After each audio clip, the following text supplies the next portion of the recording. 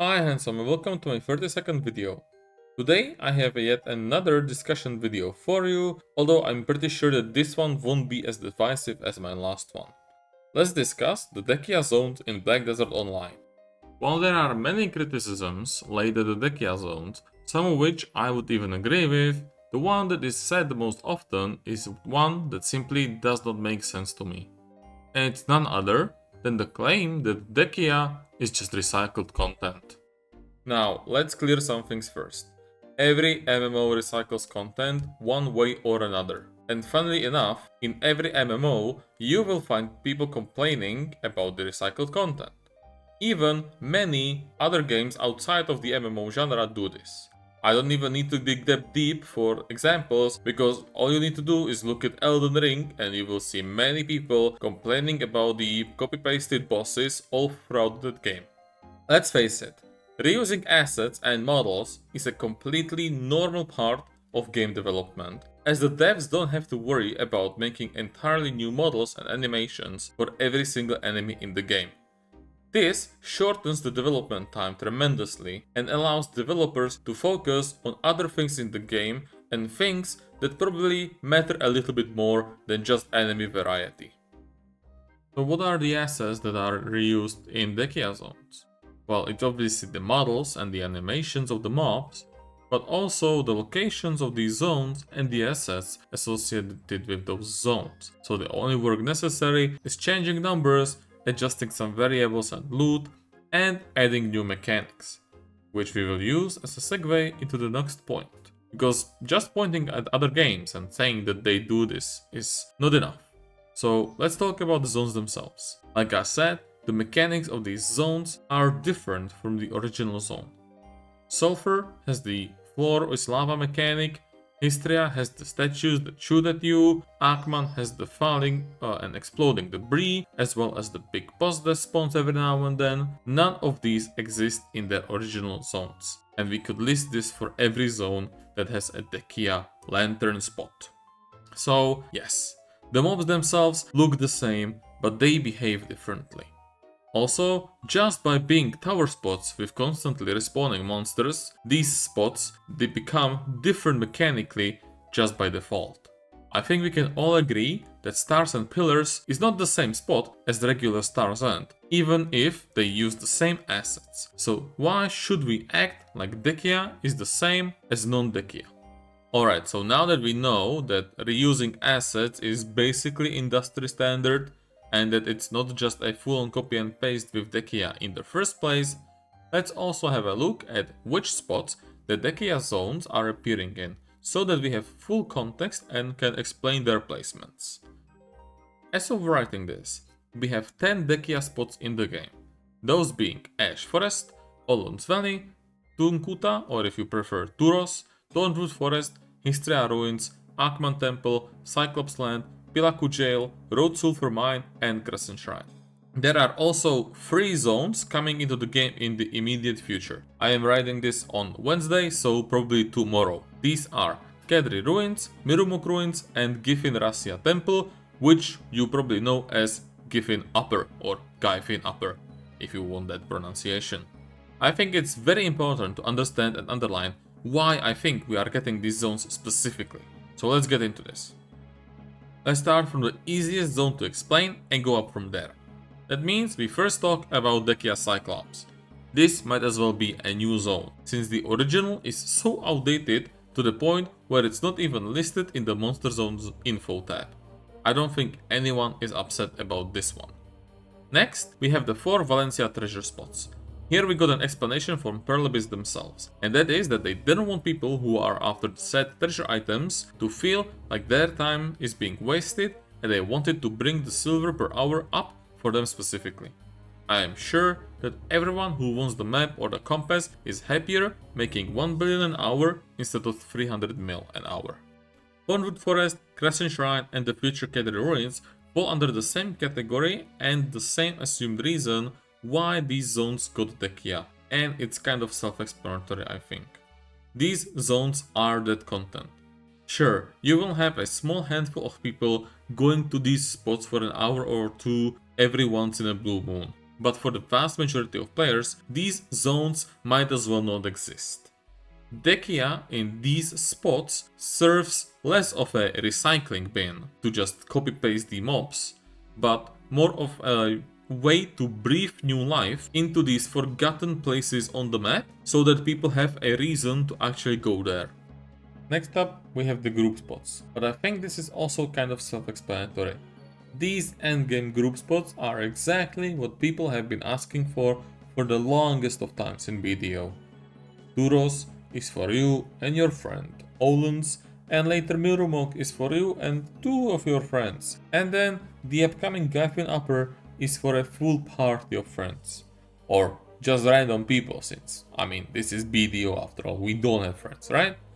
So I think this is just a way to give us endgame group grinding spots. Which leaves us with a single zone, Ash Forest.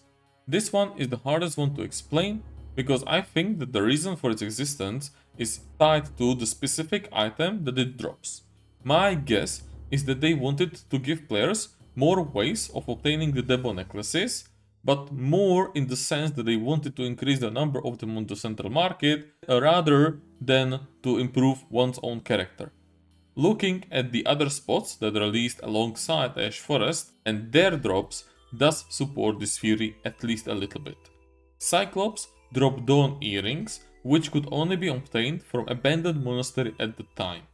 Thornwood Forest gives ominous rings, which you could only get from the regular Thornwood Forest with an abysmal drop rate. And Dehkia Olun's drop Debo earrings, which at the time could only be obtained through Boss Blitz in Land of the Morning Light. Some of these items, arguably, are used to boost one's character, but at the same time, the people grinding these spots will most likely already have these items or were at least very close to having them. So there are all the Dehkia spots that we have in the game right now. And if you have any other ideas why these spots specifically got their Dehkia zones, feel free to leave that in the comments. I'm very interested in your own ideas and opinions. Next point that I want to talk about briefly is that the Dehkia spots are tower spots. Here, I think it really depends on your preference for grind spots. Personally, I like tower spots more than the regular run in circle spots. I also like them much more than the smaller circles with fewer, more powerful monsters such as DSR or Elvia trolls.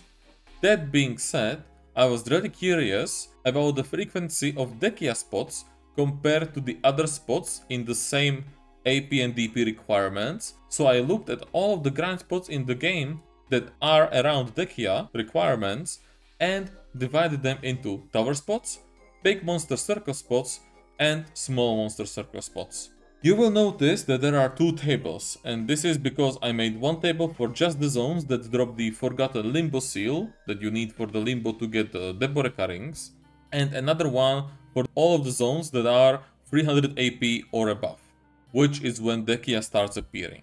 There is one more thing that I need to talk about, and that's Yzrahid Highlands, which is a tower spot, but it's not a Dehkia spot. So that's why you have one more tower spot than Dehkia spot, okay, in the table. And well, I think I found what is basically the obvious answer to why some people dislike Dehkia so much. There are simply too many Dehkia zones compared to the non-Dehkia ones. This problem gets even worse when you consider that this list doesn't include Dehkia 2 and the Dehkia 2 has no counterpart in terms of regular grind spots. Hopefully, this will get addressed by Pearl Abyss in the future, because, at least to me, BDO is about player freedom, so taking it away and forcing everyone into the Dehkia zones kinda goes against that. I honestly believe that this is the reason why Dehkia is not liked as much anymore. It went from a handful of zones meant to provide options for people who didn't want to move between packs to the only option for any hyper endgame player. So it's not much as reused content as it is overused content, in my opinion. But there is still one elephant in the room, and it's the Elvia zones. Elvia zones do the exact same thing as Dehkia in terms of reusing NPC models and animations. Yet, nobody calls Elvia lazy. And many people nowadays still want Elvia to be continued in places like Mediah. If anything, it just goes to prove how hypocritical some players are, and that's something that we can also see in people who in one breath say that BDO is nothing but running in circles and they want the game to do something new and exciting, but when BDO does something new and exciting in places like Land of the Morning Light 2, they turn around and say that it's dead content because it has no circles to run in. I've been trying to figure out why Elvia spots are generally liked and Dehkia spots are generally disliked, but my only idea is that Dehkia is overused right now and that it is a tower spot. So if you have any other ideas, please do let me know. I am very curious to hear them. So now that we know what Dehkia is and we have most likely concluded why it's disliked, even though it's more than just because it's recycled or copy-pasted content, we should finish this video by talking about why Dehkia exists in the first place. BDO is a 10 year old game, and as any game that old, it has a lot of jank to it. A lot of elements that make the game worse to get into and harder to enjoy, especially for newer players. And as much as some people would like to say otherwise, a stable influx of new players is what keeps an MMO alive. If you remove the new player flow, you are effectively suffocating your game and you're just waiting for its inevitable death. Pearl Abyss know this better than anyone else. That's why they swapped focus towards new player acquisition lately. If you look at the changes made in the last couple of years, it is very obvious that there are four things that Pearl Abyss are working towards fixing that stop new players from getting into the game. These are open world PvP, the game being overwhelming and hard to get into, the grindiness of the game in general, and the lack of group and endgame PvE content. All four of these aspects are being addressed one way or another. You can look at basically any larger update and you will find a change that has to do with at least one of these four issues of the game. It is because of this focus on the new players that BDO doesn't just give us a new endgame grind zone every year, which is where Dehkia comes in to fill the gap.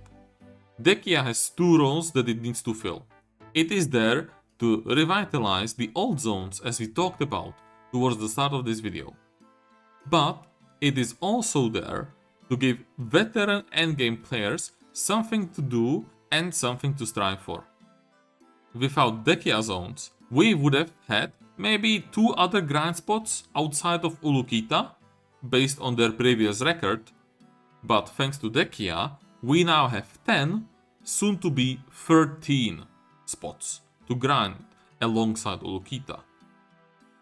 Even if they are all tower spots, and even if all of them reuse assets, I think that is a price worth paying. But that is it for today, handsome. Let me know what you think, I hope you liked the video. I wanted to touch on another contemporary topic simply because I like the discussions that these topics bring, even if they can turn sour. That being said, next video will for sure be the life skill only Iron Man video. I did burn myself out heavily on that series and I do think that the idea of doing that instead of the Iron Pen was a stupid one. Which is why you haven't seen it in a month or so at this point and for that I do apologize. There is a little bit too much of everything going on in my life right now and I am trying to balance YouTube with Twitch on top of it without YouTube becoming just a dumping ground for Twitch highlights. I will do my best for you guys. I know I don't say this enough here, but I appreciate every single one of you and I thank you for giving me a platform that I can use to spread my opinions. Thank you guys for everything. Remember to like and subscribe. Much love and enjoy your grind.